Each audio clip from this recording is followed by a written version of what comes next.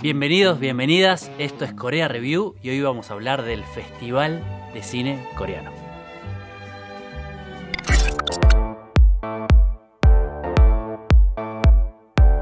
En el año 2014, el Centro Cultural Coreano creó el Han Cine, Festival de Cine Coreano en Buenos Aires, para acercar todo este cine comercial, famoso y mucho cine independiente que no se podía ver en nuestro país y hacerlo un poco más próximo a todo lo que es el público nacional, no solamente a los especialistas, sino al público general. Desde ese momento, el cine coreano y el Han Cine no pararon de crecer. Nosotros estrenamos más de 50 películas en estos años de Festival de Cine y a los principales directores, Hong Sang-soo, Lee Shandong, Park Chan-wook, Kim Ki-dok y también a la hora súper famoso Bong Joon-ho, director de Parasite, quien ganó un montón de Oscars en la última edición de los premios. El año 2020 va a ser recordado por la tragedia y el desastre que está generando el coronavirus. Por esa razón, muchos eventos y festivales tuvieron que ser pospuestos y cancelados. Sin embargo, hay buenas noticias con el Cancine. Le buscamos la vuelta y ahora, este año, vamos a tener la edición online.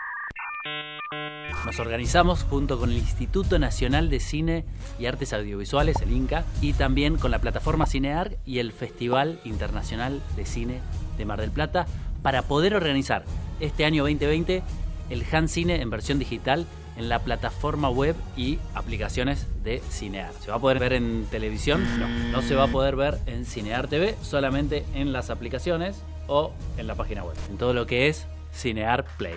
¿Qué van a poder ver en este Han Cine? Mucho y variado. Van a ver películas de acción, thriller, comedias, animación y cine independiente. ¿Se va a poder ver fuera de Argentina? Mala noticia. No. Si no sos de Argentina, no vas a poder acceder, por más de que la plataforma es gratuita y se puede acceder desde cualquier lugar del mundo, las películas del Han Cine van a estar solamente disponibles para usuarios radicados en Argentina. No solamente este año tenemos una versión digital del Han Cine, con la cual vamos a poder pasar la barrera de Buenos Aires, que era donde se venía haciendo este festival, y vamos a llegar a todo el país, sino que va a ser una versión extendida también en el tiempo. Este año el festival va a ser de tres semanas. Sí, tres semanas de puro cine coreano. Vamos a tener 20 películas.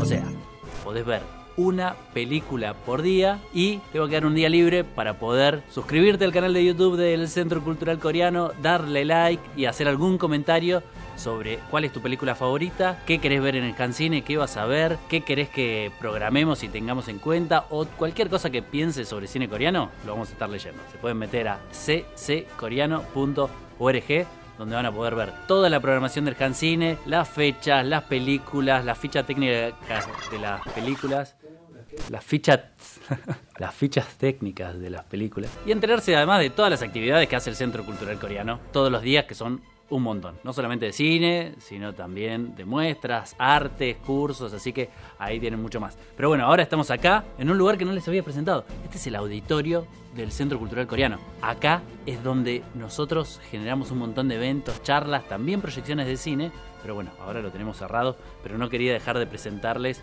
este espacio que es fantástico, uno de mis preferidos. Voy a comentarles algunas de mis películas preferidas del Han Cine, aunque cada uno pueda armar su propio recorrido.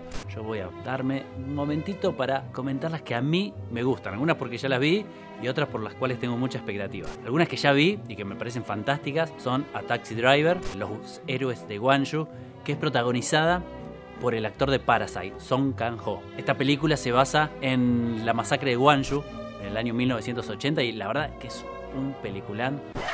Es un peliculán, dije. Es un peliculón que no solamente repasa un hecho histórico, sino que además vemos ahí un montón de otros personajes conocidos.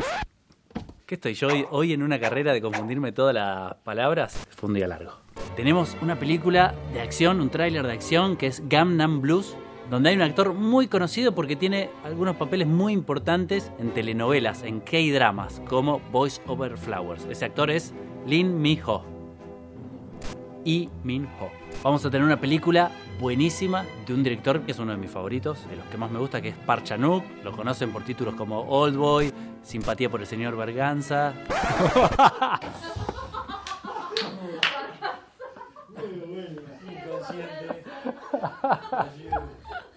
Eh, podría ser una buena película triple X.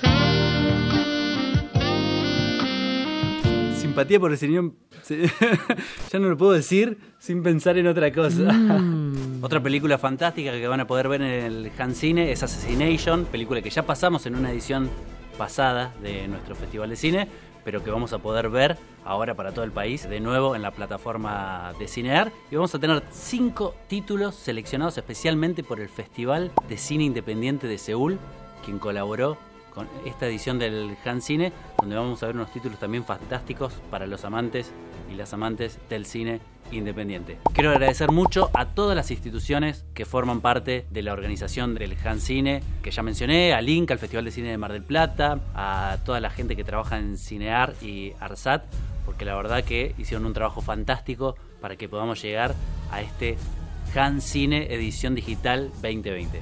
Aprovechen este año de Han Cine que se puede ver en todo el país no se lo pierdan. Sin más, nos vamos, esperamos que puedan ver todas las películas que tenemos programadas, comenten qué les gusta, cuál es su película preferida y cuál esperan con más ansiedad. Así que nos vemos en el Han Cine en esos días y en el próximo Corea Review.